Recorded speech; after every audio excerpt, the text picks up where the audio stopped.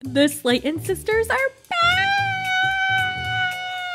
Oh my god, I'm so happy. I'm so excited. I feel like it's been forever since we last saw them on our TV screens, but they are back. Holy moly, I did not expect to be crying so much in this episode. I was bawling like a little baby, especially during those scenes of Tammy and Caleb. Oof. Heartbreaking, heartbreaking. Okay, so let's get into the episode. We're obsessed with TLC and all the trashy reality TV. It's, a recap. It's a recap. It's a recap. Tammy lost over 350 pounds. Unbelievable. Do you guys remember season one, season two, season three? No one believed she could do it just because she was so destructive and so stubborn. And let's just be honest, she was kind of a miserable person. Yeah.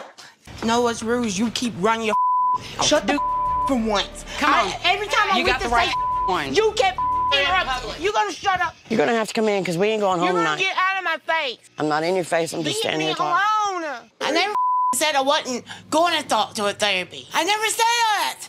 So, what kinds of stuff are you eating? And everyone thought she was just stuck in her ways and she was never going to change. But look at her now. Ugh.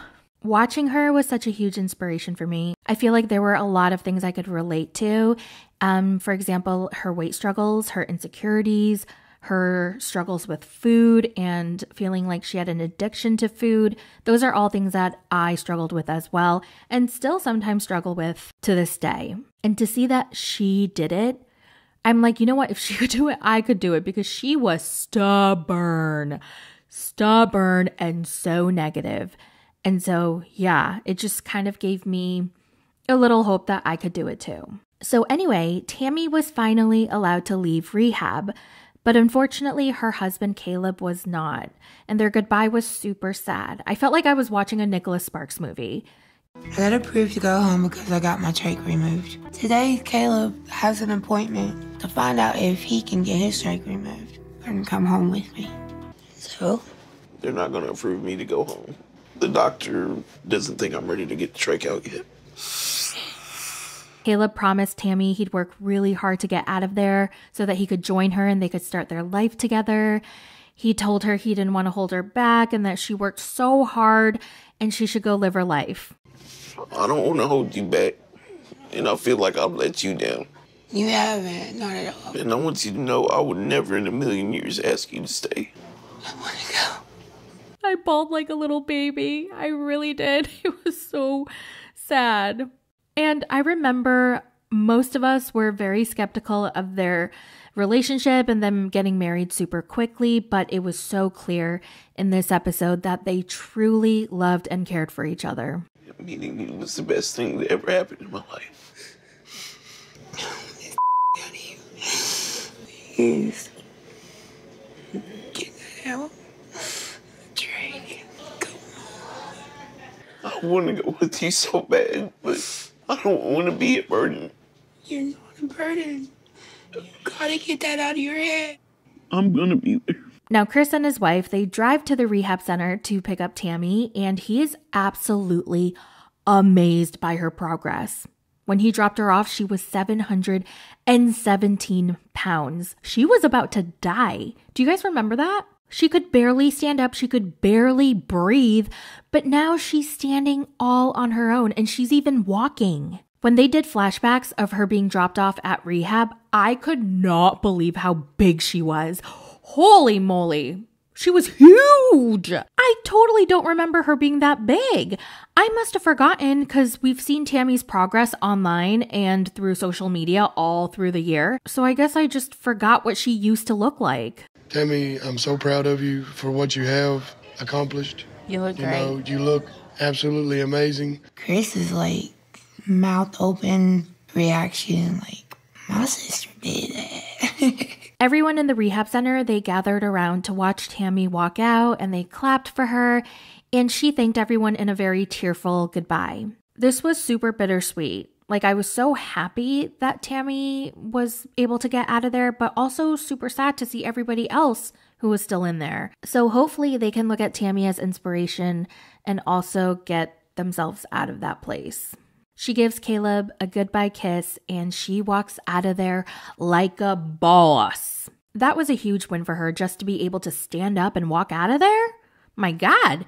And then she had another win when she fit into the backseat of the car. Whew, remember Tammy before? She had to be in that trunk. But she fit in the car seat this time. And then they get home and the whole family's there to celebrate. And it gets a little chaotic because of the babies. They are crying, they are screaming. Tammy's feeling pretty overwhelmed with all of the commotion. So there's a scene where Tammy tells everybody that she got her trach out and she was like, Look at this, there's a dent in my throat where, you know, the trach used to be. And they're all creeped out by it. And Tammy gets Amanda to feel the dent in her throat. And Amanda's like, ew, but she tries to touch it. Then Tammy tells Amy to touch it, and Amy's not interested. So then Tammy goes, oh, come on, Amy, you won't even look at it. And then Amanda says her good eye was looking at Chris. And they all burst into laughter. She won't even look at it. The good I was looking at Chris.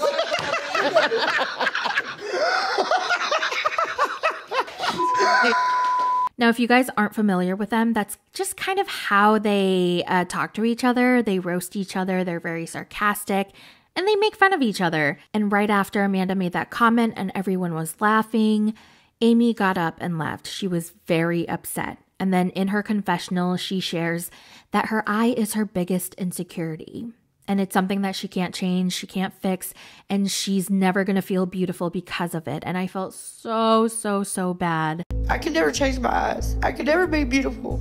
After Amy walked away, Amanda was like, Oh, I didn't mean to hurt her feelings. I thought we were all joking like we always do. And I kind of understood where Amanda was coming from because as a viewer, that's all we saw. They were always joking and roasting each other. But this is where I feel like Amanda went wrong. So she goes after Amy, but I thought she was going to apologize, but instead she was very aggressive. She was very hostile. You said You know I was fun just of me, I have not been making fun of you. I'm done. She should have just apologized. Ultimately, whether she was joking or didn't mean to hurt her, it did hurt her. She was crying. She was upset.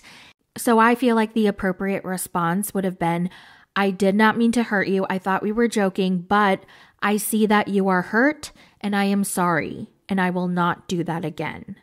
That would have been the best answer, but she didn't. Mm-mm. She got really mad. Well, sorry, I that up. It's okay for everybody to poke fun at me and make fun of me and say, We were all sitting around the table joking, Amy. I just don't understand where Amanda's anger came from. So, in the preview for the rest of the season, Amy is struggling. She's a mom of two babies, right? They're both like one and two years old, or one and three. I, I don't remember, but they're very close in age. They're very young. I can't even imagine how hard that is to take care of two babies. Plus, you have a useless husband who doesn't help you at all. He's pretty much a third child. So, it seems like we're going to watch their marriage fall apart on TV. So, yeah, can't wait. well, that's it for the recap. Let me know all your thoughts in the comments, and I will talk to you guys in the next one. Bye.